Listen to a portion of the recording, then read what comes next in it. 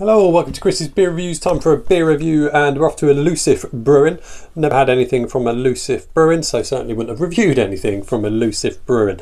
I know a lot of beer reviewers uh, say good things about Elusive Brewing, so I thought it was high time that I got one in. So I picked this one up on Trembling Madness. The one we're looking at is called Fog City. It's a New England Pale. Uh, they do, and it's 5% ABV. They do have great artwork on their cans. They really do. It's quite a lot of writing on the side. I'm not going to read it all now. However, let's give you the price. Elusive Brewing New England Pale Ale, £4.20. £4.20. So let's crack on with it. Let's get reviewing. Let's get it in the glass, have a look. So she looks and sniffs and tastes. Certainly looks pale. Almost lemon in colour from here.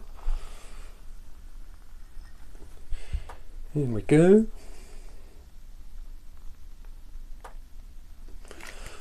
Bit left. Cool, that does smell strong. Bit left in the bottom. We'll get that in before we start drinking it, hopefully. So let's have a look. Nice, big, bubbly head. Yeah, it's orange in colour. Bordering sort of lemony colour, lemon to orange. Very hazy. Can't see any carbonation. That is proper hazy. That almost looks thick. I mean, it's not gonna be, but it does look it. Let's get a rest in. What's that? There we go, that is all in. And yeah, there was definitely kind of sediment in the bottom because it's changed, because little clouds forming under here. I've just poured that last bit in. Let's have a sniff of this bad boy. Proper juicy. That smells like it should be a lot stronger in ABV. Very tropical, very citrus. Big grapefruit, big stone fruits certainly peach. There's orange, grapefruit. I got a sneaky feeling this is going to be super smooth. It just looks like it should be a bigger ABV.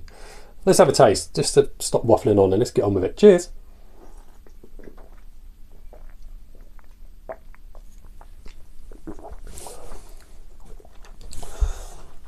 That's very nice. Mm. Good carbonation. You can't see the carbonation in it, but it has got really good carbonation. The body is so much bigger than a 5%.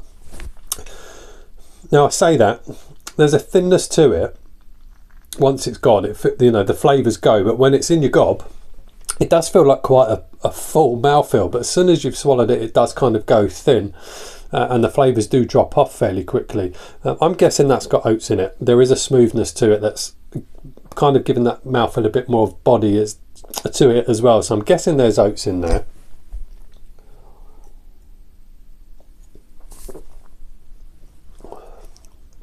It has got a piney resinous finish on the back, which I really like. Gives it a bitterness. It's very clean. Does taste good. Flavour wise, the flavours are decent. I just all about that back end for me. It's got a lovely kind of resinous pine bitter back end, which is really, really good. Flavour wise, you have got quite a big citra hit. It's definitely big on the grapefruit.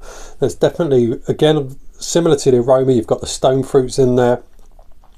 Kind of peach is in there. Apricot type vibes going on, uh, but mainly about the citra. But it has got peach, it has got apricot. There is elements of orange to it, but it's mainly about the citra. It has definitely got citra hops in it, without a doubt. It's got a big kind of grapefruit feel, giving it a bit of a pithy on that back where I said it was kind of piney and resinous, there's a pithiness to it as well, uh, which is decent. So yeah, people are singing the right tune about Elusive Brewing, all these other beer reviewers that reviewed Elusive. They're right, they're good beers. Uh, that is very, very nice. Let's see what it does say on the side.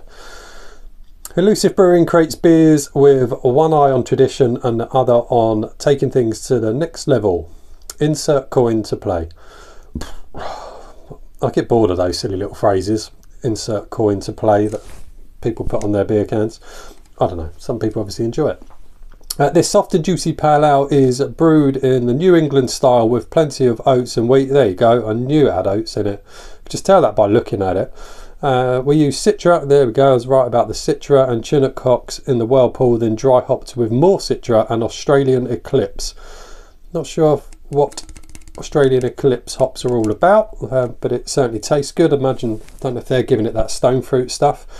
Expect notes of citrus and grapefruit with a stone fruit undertone. Serve in your favourite glass and enjoy straight from the fridge. Brewed and packed at Double Barreled Brewery in Reading, Berkshire. Uh, yeah, that's a good beer. That is a good beer. Thoroughly enjoyable. Um, there, there you go. Elusive Brewing. Fog City, New England Pale Ale, 5% ABV. Decent. See you on the next one. Bye now.